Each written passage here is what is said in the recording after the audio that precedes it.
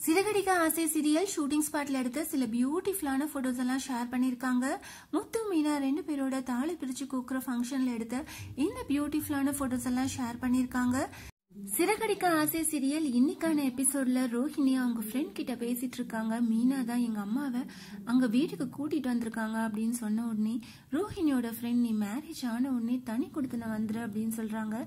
அதுக்கு ரோஹிணி நான் ரொம்ப நாளா தனியாவே இருந்துட்டேன். கல்யாணத்துக்கு அப்புறம் எல்லார் கூடயும் ஒன்னா இருக்கணும்னு ஆசைப்படுறேன்.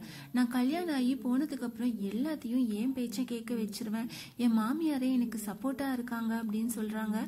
கல்யாணம் மட்டும் எந்த பிரச்சனையும் இல்லாம நல்லபடியா முடியணும் அப்படின்னு ஃப்ரெண்ட் கிட்ட பேசிட்டு இருக்காங்க அதுக்கப்புறம் விஜயா மீனாவை வீடு ஃபுல்லா துடைக்க சொல்றாங்க. உங்க வீட்டிலேருந்து இருந்து வந்தவங்க எல்லாம் போயிருக்காங்க.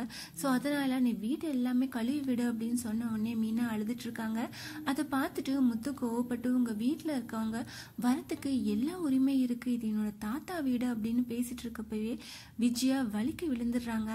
அதை பார்த்த முத்து பாட்டி தன்வினை பின்வினைன்னு சொல்வீங்களே அதுதான் எங்க அம்மாக்கு நடந்திருக்கு அப்படின்னு பேசிட்டு இருக்காங்க.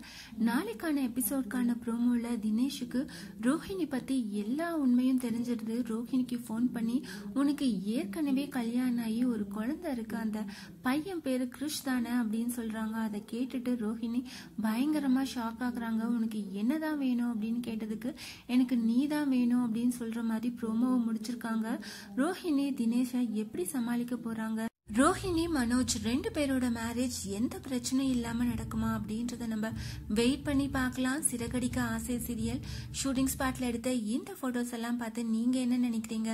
வரப்போற அப்கமிங் எபிசோட்ஸ்க்காக எவ்வளவு பேர் ஈகரா வெயிட் பண்ணிட்டு இருக்கீங்க? அதை கமெண்ட் பண்ணுங்க. இந்த மாதிரி அப்டேட்ஸ் தெரிஞ்சுக்க மறக்காம சேனலை சப்ஸ்கிரைப் பண்ணுங்க.